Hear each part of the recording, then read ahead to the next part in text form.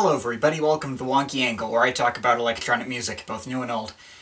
And today I'm talking about the new album from the Cinematic Orchestra, To Believe. The Cinematic Orchestra is not a name I expected to get the chance to talk about in 2019.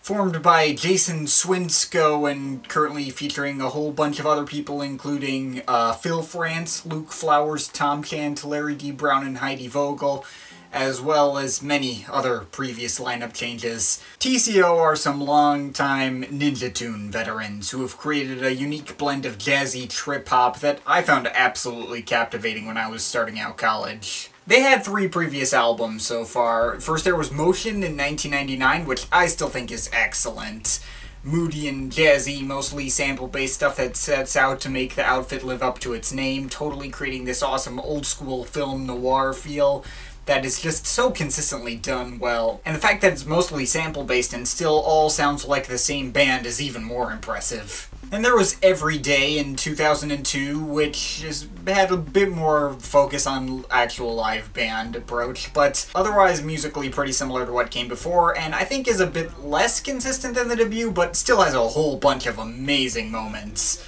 Like Man with a Movie Camera and All Things to All Men, those two especially have really risen to become among my favorite things ever to come out in Ninja Tune, period. But then in 2007 we got Ma Fleur, and I was not quite as sold on that one. I mean, it was fine. It had one track I really liked with As the Stars Fall, and had a decent handful of good moments sprinkled throughout, but what I liked most about TCO initially was their really jazz-heavy style and nuanced atmospherics that created that sort of old film noir feel to it. And Ma Fleur was a total reinvention in style towards much more stripped back and simplistic piano and guitar heavy arrangements, creating a super warm and comfortable vibe that was so consistently trying to land emotional impact with so few musical elements. And you know, I'm all for a new change in direction for a band or something more subtle, but Subtle isn't really the word I'd use to describe that album. It wasn't like Nils Frahm's All Melody, where a lot of complex emotion is conveyed with really simplistic compositions.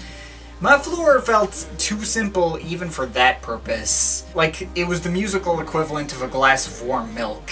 And I really don't like Patrick Watson's voice while I'm at it, but never mind that. But from what I understand, that album was also uh, much more of a commercial success than the other two, and I very much appear to be in the minority of people who found it underwhelming, so take me with a grain of salt on any of that. But whatever, that album was 12 years ago. Needless to say, I was not expecting a comeback at this point, or even really thinking about the Cinematic Orchestra at all. But I was still excited to hear what they had to offer, I mean, the song lengths on this new one go, all go on for six, seven, nine, one, 11 minute tracks. That had me excited for maybe a bit of a return to the stuff they did previously. I went in wary but excited for what was to come, so what did we get with To Believe? Well, right out the gate, this was far more enjoyable than, to me than Ma While there are some things it has in common, it is often going for some similarly warm and emotional atmosphere in many parts, but thankfully there's much better variety in pacing. The slower moments get a chance to shine because they're not surrounded by eight other tracks going for the exact same tone. I mean, the album does kind of start more or less with where Ma Fleur left off with the title track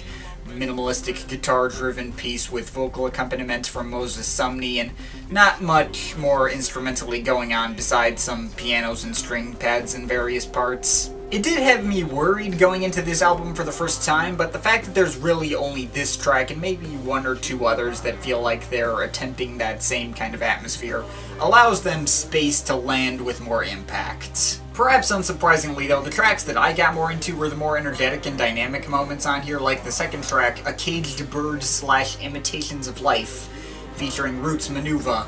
That one pulled me in a lot more and did so much more to calm my fears going into the album. I I was already looking forward to hearing the rapper from All Things to All Men make another appearance, and he did not disappoint. And the fast-paced beats and orchestral tinged backing tracks behind him are really beautiful and expansive and really got me pumped up to hear what was to come. And they further kept me attention with the instrumental Lessons, another more energetic piece that might be the most energetic piece they've ever released to my knowledge. A nice meaty 9 minute cut with quick percussion patterns with lots of acoustic snare drums rolling and tambourines, various synth textures coming in alongside the usual strings and guitars, creating a kind of atmosphere that's in the same ballpark as, say, Air's Once Upon a Time or something. I should mention, by the way, that this album is easily their most electronic sounding one to date, and anytime they involve synth textures, they mesh really well with their overall sound. Anyways, then you got Wait For Now slash Leave the World featuring Tawiah, another more stripped back vocal piece. It didn't really stick out to me in the track listing, but was still pretty enjoyable for what it was. Uh, Tawiah's performance was pretty passionate and engaging, and there's a lot of cool bell noises and whooshing electronic effects near the end that I liked a lot. And there was The Workers of Art, which was another neat instrumental, this time going again for a much more toned down approach, with minimalistic synth textures and big string pads again. There's not much to it, but as one of only two instrumentals here, it stuck out to me basically by default, and I, I enjoyed it quite a lot. Zero One slash This Fantasy featuring Grey Reverend went for a much jazzier approach, still coming off very moody, but executing that mood quite well.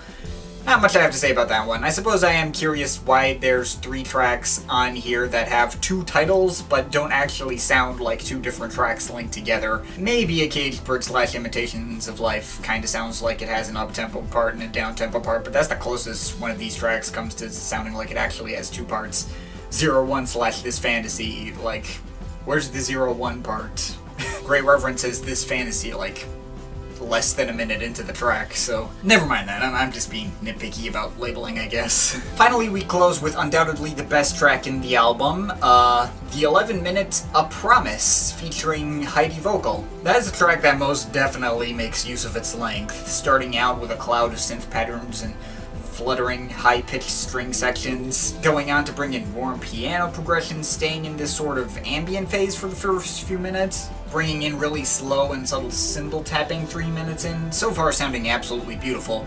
But halfway into the track, it changes up into something else entirely, going into a much more energetic and lively phase, bringing in some fast-paced tambourines and a loop of little bongo textures in the background that admittedly sounds like a GarageBand loop I've used before.